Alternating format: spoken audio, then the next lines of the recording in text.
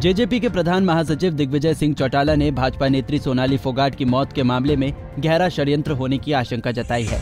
कैथल में एक निजी कार्यक्रम में शिरकत करने पहुँचे दिग्विजय चौटाला ने कहा कि शुरुआती तौर पर सोनाली की मौत एक गहरा षड्यंत्र लग रहा है और परिवार के लोग भी बार बार बड़ी साजिश की बात कह रहे हैं।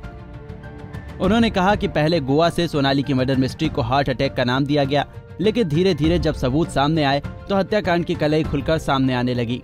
दिग्विजय सिंह चौटाला ने इस पूरे घटनाक्रम की सीबीआई जाँच कराने की मांग की है। उनका कहना है कि सच तभी सामने आएगा जब जाँच होगी।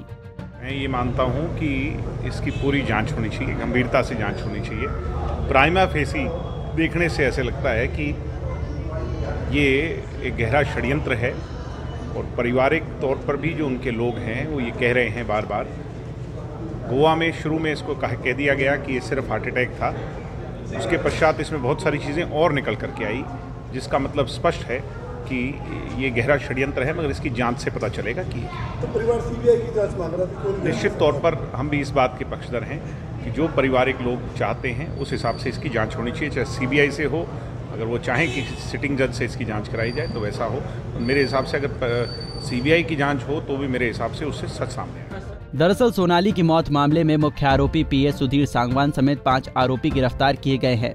बीते दिन सामने आई नई सीसीटीवी फुटेज में सुधीर सांगवान सोनाली फोगाट को जबरन ड्रग्स पिलाता हुआ भी दिख रहा है और इस बात को पुलिस पूछताछ में उसने कबूल भी किया है।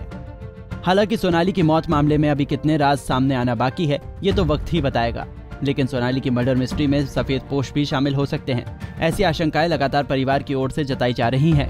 कैथल से जयपाल रसूलपुर, पंजाब केसरी टीवी। हमसे जुड़े रहने के लिए हमारे YouTube चैनल को सब्सक्राइब करें और नई वीडियो की नोटिफिकेशन के लिए बेल आइकॉन को दबाएँ। अगर आप ये वीडियो Facebook पर देख रहे हैं तो लाइक ज़रूर करें और ज़्यादा से ज़्यादा शेयर करें धन्यवाद